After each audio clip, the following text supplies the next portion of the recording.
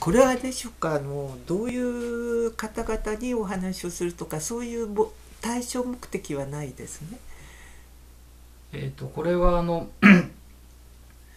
そうですね。うんまあダンスに関心を持ってられるダンスとかパフォーマンスとかそういった、はい、ものに関心を持っておられる方に、まあ、はい、特に若い人に、はい、まああのえー、日本のパイオニア的な存在である、はい、あの長谷川六さんのお話を、まあ、聞いていただこうという感じで、はい、はい、かりました。やりたいと思いますね、はい、じゃあそのダンスとの出会いからいきましょう。そうですね、はい、えー、1957年です、はい、あのまあ私はあの当時大学生であのエスペラント語をやってたんですね。でエスペラントのその、まあ、師匠があいきなり「お前モスクワ行かないか」って言うんです「えええって言って「何ですか?」って言ったらモスクワであの世界青年平和友好祭というのがある。でそこにあの日本からエスペランティストをよこせと。そういうその命令が来たからあのうまいかないかで変だなって私なんかもうそんなにエスペラント上手な方じゃないんですけども、うん、な熱心にやってたわけじゃない。でも一応まああの部長というような肩書きでしたけども、うん、でも当時男性はちょっとモスクワ行かないかってフルシチョフの時代ですからモスクワ行かないかって言われて男性は就職のこと考えたらちょっと行かないと思うんですよね。私はもう冒険したい口の人間だったもんですから。左翼的な方に見られてしまうそうですね。まあ私自身が左翼かどうかっていうことよりもおそらくうんその行けば左翼だと思われるでしょうね、就職にも私も事実東映を受験して東映落とされてます最後に、はい。あのなんかあのなんていうんですかしあの隣にいつもこうなんかピタッとくっついてるおおとおっさんがいるんですね、うん、なんだろうこの人と思って。やっぱりその人が多分リサーチしたんだと思うんですね。あの要するに探偵事務所みたいなところで。で都営は30まで行って落とされたんですですからあの結局まあ他の男性でしたらもっと別あの都営ほど、うん、都営もきついですけどもあの例えば公務員になりたいとかそういう方はもう行かないですよね。それで「お前行け」っていう感じだったらしいんですけど、まあ、とりあえずそれに、まあ、行くことになったんです。であのところがえーまあ、女性ですし、それからあのこうあの新潟から那覇とか行ってあのシベリア鉄道でダーッと行くわけですからそのシベリア鉄道のコンパートメントっていうのはもうあのそこで、まあ、食堂へ行って食べるんですけど生活の全部10日間かかるわけですから。あの生活の全部そのコンパートメントって車両の中でするわけですね。うん、でそうするとその今日は明日明日はここってわけいかないんでお前は何という車両の何段目のここへとあので生活しろってもう指定されるわけです。ですからその10日間同じ人とその同じ車両の中で生活生活みたいなそういうことですね。で帰りも同じなんです。もう、はい。飛行機はまだなかっ行機あったんですけどあの幹部しか乗れないではい。下っ端は全部あのシベリア鉄道で 行ったわけです。2週間近くかけて行った。はい。でその中で現代舞踊協会の方々、要するに派遣される、はい、方々と一緒だったんです。で日本舞踊協会と現代舞踊協会から選ばれた方が乗ってたわけですね。ダンスあの女性が多かったもんですからあの女性も男性も同じ部屋でダッと乗ってた、うん、ですからそこであの例えば藤美恵子さんとか石井薫さんそれからあの佐藤優子さんいらっしゃいましたね。が工藤正蔵さんだったかな。それから三上弥太郎さん。でこういう方々の、まあ、いわば現代舞踊協会の中堅の上の方の方とご一緒だったんです。で行き帰りまああのモスクワではあの同じ宿舎オスタンキノの同じ宿舎ではありましたけども別に行動は一緒ではなくて私はエスペラントの方の総会に出てでエスペランチストといろいろ交流したりからお尋ねしたり、うん、いろんな部会とかっていうのがあありましてであの、うん、必ずしも一緒ではなかったんですけど今日コンクールがあるから来ないかとかっていう情報をもらいますと言って、まあ、コンクールを見たりしてたわけですね。でそこで例えあの石井薫さんが銀賞をもらわれて例の「アニトラの踊りで」で素晴らしかったですね。でもわあすごい日本は思ってもう本当に誇らしく思いましたけどもあのその時にあのあれが岡田よし子だよって例のあのああの女優さんですね、はい、はい、亡命した方ですね、あのそういうもちろんあの近,、ま、近くには行かれないですけどあれが最小期らしいぞとかっていうような噂であの最初期さんらしい方とは近くまで行って「こんにちは」ってご挨拶もできたんですけどもあのそういうまあパーティーというかあのみんながいるところっていうのがありましてそういうようなチャンスもあったりそれからあの国立新国立劇場の芸術監督をやってらした渡辺、えー、弘子さんだった。かなあの民芸にいらしたあの方もご一緒だったんですね。で彼女がもういろんな演劇劇場に連れてってくださいましてであのまあ赤旗がガンガンガンガンっていうような 演劇を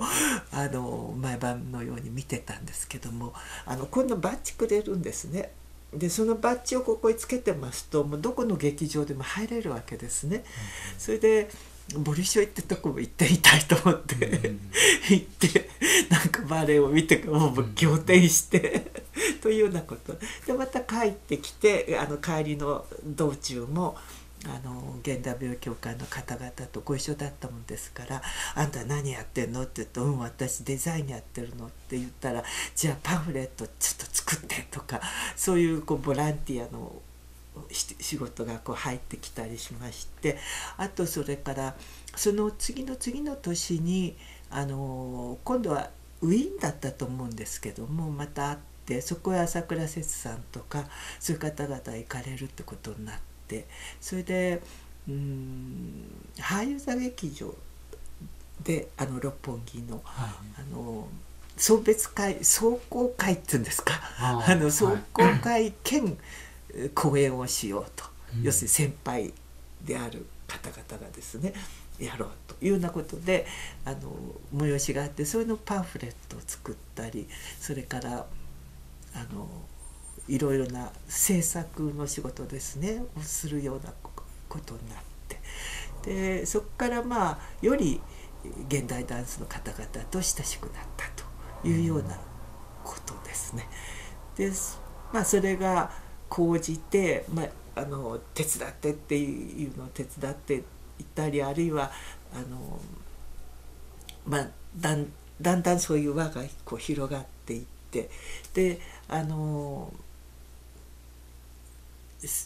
まあそうこうしてる時にやっぱ現代舞踊協会ってまあ主だったものはあのパンフレットや何か見ればこう分かるんですけどその歴史とかそれから今どういう人たちが活動しているのか、うん、それからそのコンセプトですね、うん、どういう主張のもとにそういうことをやっているのか、うん、というような知りたくなりますよね。何でももう少し先を先。でその知りたいと思う時に、まあ、新聞読んだりいろいろやってる雑誌はない専門誌はないんだろうかと当然考えて、まあ、あれこれ探すんですが演劇はまああの23雑誌があるのにもかかわらず舞踊に関しては雑誌がない。それでまあなないから、まあ、知識がそこで止まっちゃうという感じがあったんですけど。そういうじゃあそのえ美容の記事とかそういうの新聞に出るぐらいしかなかったんですか、ね、そうですね。新聞もそんなには、うん、あの出ませんしあの舞踊に現代舞踊に関するあの記事が皆無というわけではないんですけれども、うん、あの非常にまあ量的には少ない、うん、から新聞はまあ専門的じゃありませんから、うん、あのやっぱり専門誌というのが欲しいなという感じがありましたね。ね。はい続いて一方ではあの例えば実験工房とかハイレッドセンターの動きとか具体の動きとかというのが、まあ、一応美術学生ですからいろいろな情報がこう入ってくる。でみんな新しいことやっているんだなってあの本当にあの例えば土方さんが出ていてエクスパンデッドアートフェスティバルとかそういうそのさまざまな試みがその当時あったわけですよね。で本当にさまざまな試みをこうまあ当然私たちの世代ですからトライする要するにお芝居でしたらば唐さんもあの寺山さんもみんなあのすごくいい時期だったからもうそれをもう日夜こう見に行く。そしてあの一番刺激が強かったのがあの草月アートセンターであの草月会館の中のアートあのアートセンターっていう催しがあってそこであのジャクソン・ポロック読んで例の体に塗りたくてガタガタガタガタとか言ってゴロゴロゴロゴっていうようなのとかそれからあのジョン・ケージがあのピアノの前でこうやっていてやおらこう。あの木槌を持ち出してポン なんで叩くのとかですね。そのカニガムはなんか跳ねつけてフーなんていうのやってたように覚えてるんですけど、あのカニガムも一緒に来てまして。でそれをあの高橋裕二さんとかあのああいうお偉方のあの美少年ですね。あのお座りになってこそのトークをなさるとかですね。なんかそういう湯浅ジョージさんのお仕事は周りからうわーっと音が聞こえてきて